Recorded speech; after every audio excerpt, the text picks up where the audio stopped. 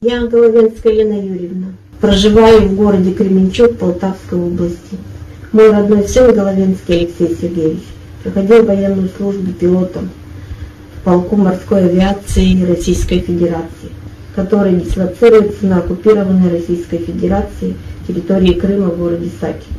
5 марта 2022 года выполняя преступные приказы командования российской армии, на самолете Су-30СМ вылетел в Николаевскую область, где был сбит украинскими ПВО и попал в плен.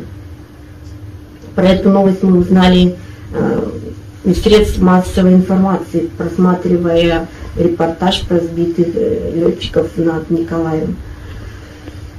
Меня захлестнула боль и стыд за своего сына. Мы неоднократно в Кременчуге слышали жуткий вой сирен воздушной тревоги. И мне было тяжело понять как можно было выполнять преступный приказ командира про бомбардировку Украины. Естественно, я переживаю за своего сына. Попал в плен, но, слава Богу, остался жив.